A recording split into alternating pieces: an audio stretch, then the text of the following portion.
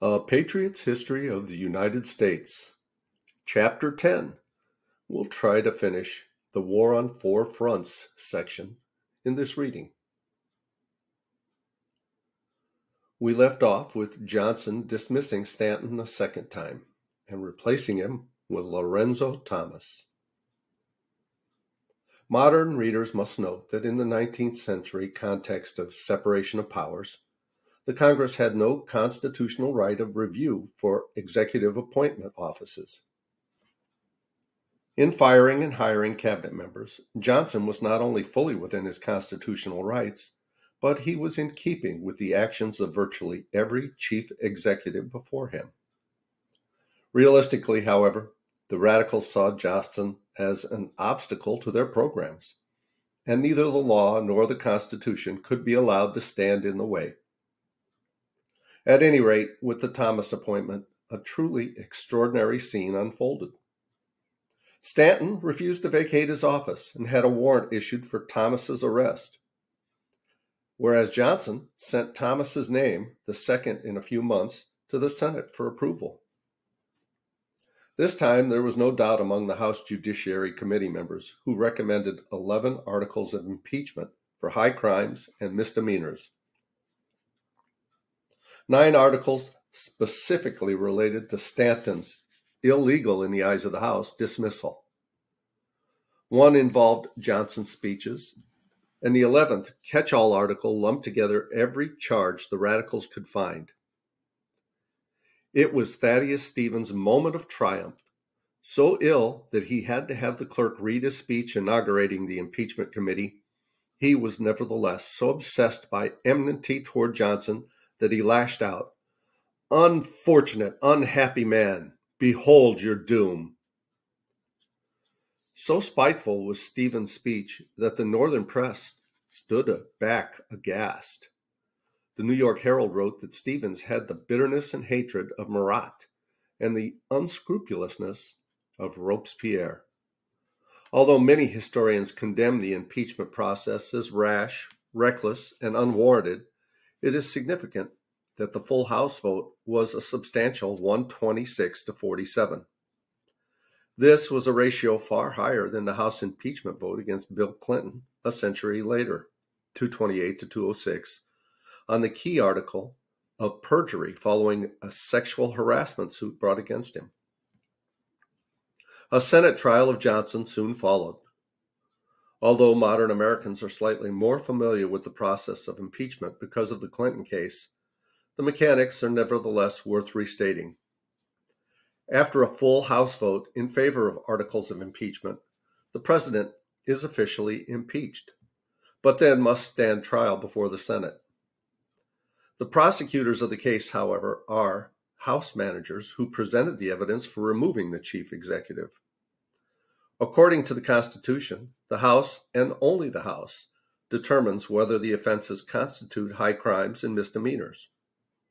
In other words, once the House has turned out articles of impeachment, the Senate's only constitutional function is to determine guilt or innocence. Senators cannot, at least according to the Constitution, determine that a president is guilty, yet conclude that removal is too great a penalty. Rather, the House has already found that if the president committed the acts of which he was accused, the penalty is automatic. The structure, however, produced an unfortunate flaw in practice.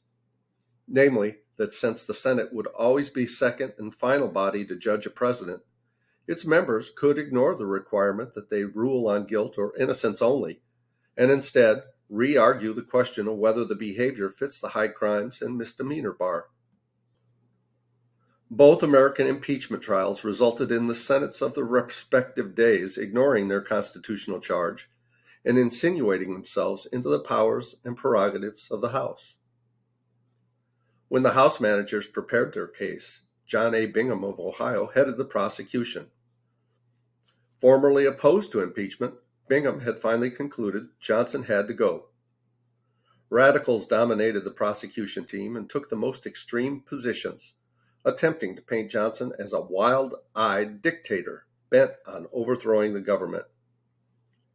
In a remarkable display, Senator Benjamin Butler waved a nightshirt allegedly stained with the blood of an Ohio carpetbagger who had been flogged by Mississippi ruffians to show the lawlessness of the South.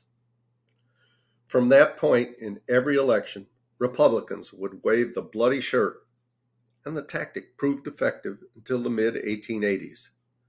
It was less useful for Bingham, however. Johnson's defense attorneys made eloquent speeches on the president's behalf. More important, no one could produce evidence of treason or truly criminal intent by Johnson, who had sought only to challenge a constitutional question. All this made the moderates uneasy about the precedent of unseating a sitting president. When the Senate voted on the catch all Article 11, the total was 35 to convict and 19 not guilty providing Johnson with a single vote margin needed to keep him in office. The Senate had voted to keep an unpopular president in office on the basis that his crimes were not sufficient to warrant his removal. The American system depended on officials being virtuous and observing the law. When a chief executive, such as Andrew Jackson, who ignored the Supreme Court ruling, or Johnson, who defied Congress, chooses not to obey the law, the removal process virtually always boils down to personal popularity or individual intent. Up to the present, no president has so lacked in either of these categories to warrant conviction. Other acquittals for Johnson quickly followed, and the trial ended. Some assumed that merely the impeachment and the trial would chastise and restrain Johnson, but the stubborn Tennessean dug in his heels even more. The trial did chasten the radicals, who realized they had pushed too hard, and they reluctantly concluded that the nation was not yet in agreement with their vision of absolute black equality or Northern domination of the South. They concluded that winning the White House again in 1868 would require someone not obviously associated with their faction and someone the public trusted. The Republican National Convention in Chicago took only one ballot to choose Ulysses S. Grant as the party's nominee. Johnson vainly attempted to form a Lincoln type coalition, but he could not win the nomination of his own party. Instead, the Democrats turned to Horatio Seymour, New York's wartime governor who had castigated Lincoln as a dictator and despot, and called the Irish draft rioters my friends. Republicans had no trouble painting Seymour as a copperhead, nor was he helped by a new wave of Klan racial violence in the South. Seymour's running mate, Frank P. Blair Jr. of Missouri, made matters worse by referring to the corrupt military despotism that still governed the South. Statements such as Blair's terrified Northerners. Edward Pierrepont, a Democrat from New York City, wrote, I cannot conceive how any intelligent man who does not wish the rebels returned to power and the lost cause restored can vote against Grant. Grant hewed to the traditional Republican agenda high tariffs, internal improvements, and above all, stability and moderation toward Reconstruction affairs. A gold standard supporter, Grant nevertheless supported the Pendleton plan for paying off federal bonds with greenbacks unless specifically stated that they be paid in gold. Paying for the war debt in greenbacks represented a commitment to slight inflation. For most voters, though, Grant, not the platform, was the deciding factor. His campaign slogan, Let us have peace, appealed to the people of both sections. In the election, despite the absence of three still unconstructed states, 78% of eligible voters cast ballots. Grant received 53% of the popular vote, despite the fact that Seymour got almost 200,000 votes from Kentucky and Louisiana alone. Grant smashed Seymour in the Electoral College, 214 to 80. Some 500,000 blacks voting for the first time thus decided the election.